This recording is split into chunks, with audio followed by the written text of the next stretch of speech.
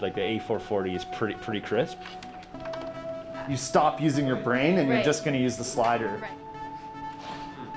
Inside the National Music Center, a recording session like no other is underway. Yeah, let's try doing a bass line because my brain might be a little different than yours. A musician with a background in science using her curious mind to make music. Instrument and artist linked together with a brainwave headset. Oh, no, that worked. Okay, so there's a little bit of a lag.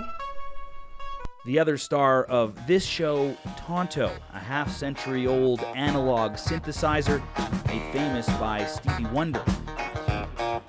Very superstitious. Right in Now part of the NMC's permanent collection. It was never obsolete. It just became more kind of usable as technology has changed. And I think Angie has proven that, you know, it's it's more uh, relevant than ever. A rebirth of sorts, one that has the instrument's creator looking on from his studio in New York. uh, things come back around again. Um, the old technology uh, is very often the, the technology that will work.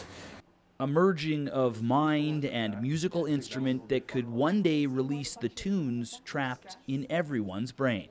Wouldn't it be cool if we could just think that music that's in our head into existence?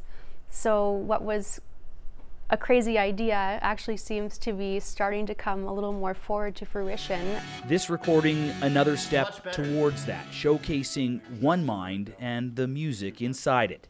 A dream come true, IRL.